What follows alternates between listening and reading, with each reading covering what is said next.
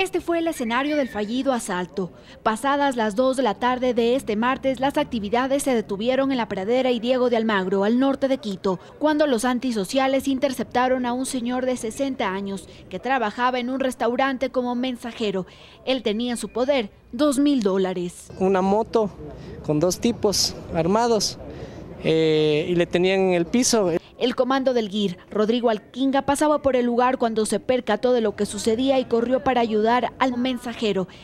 Fue entonces cuando se dio el cruce de balas con el delincuente, quien disparó al policía y a la víctima, causándoles la muerte. El antisocial también recibió un disparo que lo mató al instante. Las autoridades del Ministerio del Interior reprocharon lo sucedido. Luego de haber sido detenido este delincuente dos veces anteriormente, aquí están las consecuencias de una práctica que lastimosamente algunos jueces y fiscales todavía no entienden.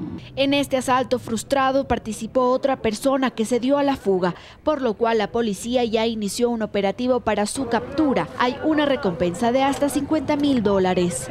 Que pueda darnos información de este otro cómplice u otros dos cómplices que tenía este individuo, pues lo hagan al 1800 delitos. En el GIR se ha montado una capilla ardiente para despedir al policía que tenía más de 25 años de trayectoria. En Quito, Andrea Samaniego, 24 horas.